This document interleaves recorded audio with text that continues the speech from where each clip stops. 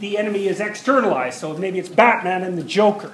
And the Joker's a pretty, the Joker's really a figure of, of chaotic evil fundamentally. You know, in the best Batman movie, um, which was the one with, uh, well, with the Joker, and, and it wasn't Jack Nicholson. Who, who played the Ledger.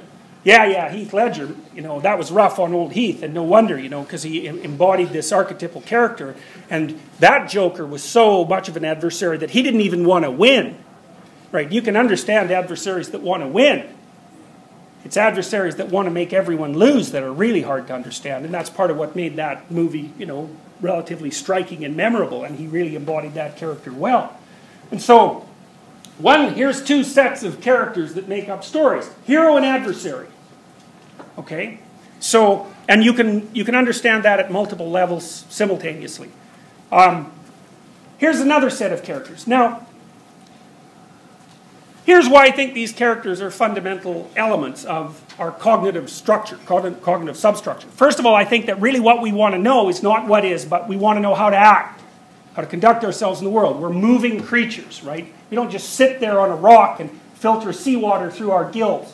We have to go out there and contend with the world, and so we need to know how to do that.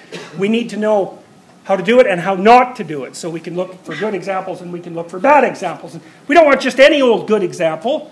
We want a good example that's boiled right down to excellent example, and we want a bad example that's boiled right down to excellent bad example. And so a good example would be a character who is an amalgam of all the good things about good people, and an evil character would be an amalgam of all the evil things about bad people. And the more pure, in some sense, in essence, both of those characters are, the more archetypal the story. And so an archetypal story is good versus evil. And you might think you don't believe in good versus evil, but it doesn't really matter what you believe because when you go to movies, you watch that and you watch it as if you believe it. And I would say, this is an existential claim, by the way, is that it doesn't matter what you say you believe because what do you know about it? What matters is how you act out what you believe. And if you really want to find out what you believe, you don't ask yourself what you believe, you watch yourself act and you deduce from that what you believe.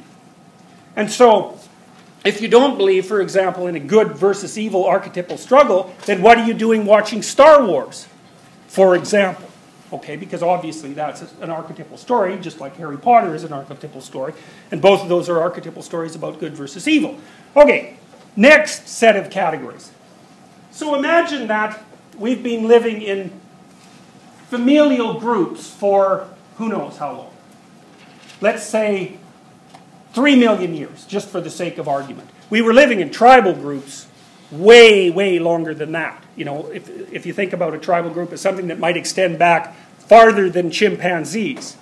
We're living in dominance hierarchies for way longer than tribal groups. But the family group, you got to think we've been living in family groups for about as long as we've been extraordinarily dependent as infants and as long as we've had really large brains. And so again, that's you, you can't draw, you know, a, a tight line, but because we've been getting bigger and bigger brains for quite a long time. But it's, it's in the millions of years, let's say. And so, and the other thing that you might think about is that, you know, your cognitive apparatus, your perceptual apparatus, your emotional apparatus has originated within an environment, obviously. Now, we tend to think of the environment as the natural environment, and then we tend to think of the natural environment as like a forest. But the natural environment for for primates, say, is only forest to some degree. I mean, first of all, we, we didn't just dwell in forests, because we were also veldt-dwelling creatures. But also, we, we didn't really dwell among trees. We dwelled among other primates like us. And so our primary environment is actually other people. And then you might say, okay, what are the fundamental categories of other people? Well, how about mother?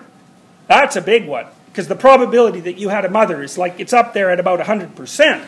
You know, and if there wasn't so even if you if you lost your biological mother at birth, if someone didn't fulfill the archetypal role of mother, then you don't live.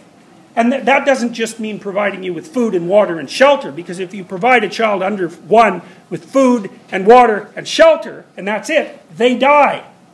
You have to pick them up, you have to touch them, you have to rock them back and forth. You have to communicate with them. If you don't give them physical attention, their nervous systems shut down and they die. And so that's part of the reason why in Well, in Eastern European orphanages, orphanages before the wall fell down, the death rate, especially in places like Romania in the orphanages, it's an awful story, was unbelievably high. And if the kids didn't die, they were just so crippled psychologically that they never recovered. And that was because people didn't touch them and didn't interact with them. And so you need a creature playing out the archetypal role of mother to entice you into life. Otherwise, you just perish. So, mother, that's a category, man. And then, well, father's a category too, and it's the same thing applies there. And even if you don't have a father, there's a male power structure around you, a dominance hierarchy, roughly speaking, that acts in the paternal role. And there's no getting away from that unless you don't live in a society. And then, if you don't live in a society, then you just die because you can't live by yourself. So, father and mother are primary categories. And then there's the primary category of the individual. Because wherever you are, there you are. And that's been the case for every human being that's ever existed. So the fundamental categories are individual, mother, and father. Well, and there's another fundamental category, which we alluded to, which is horrible thing that lives at the bottom of a pit that will devour you. And that has a psychological reality and a objective reality. And that's, as I said, that's equivalent to the story of Jonah being gobbled up by the whale. You never learn something without having something small die. And sometimes you learn something and something big dies.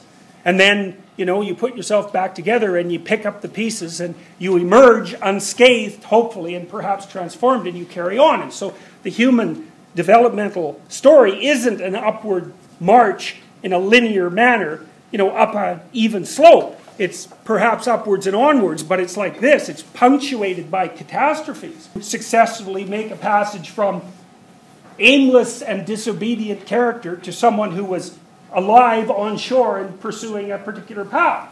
It's the same motif. It's a very, very, very common motif. And the reason for that is that that's how people transform. You know, they hit an obstacle of some sort that just blows them into pieces. They go down into the depths, into the abyss. And they, they live down there for a while, and it's not pleasant. And maybe they learn something while they're down there, if they're lucky, and they get back up. And that's the story of human development.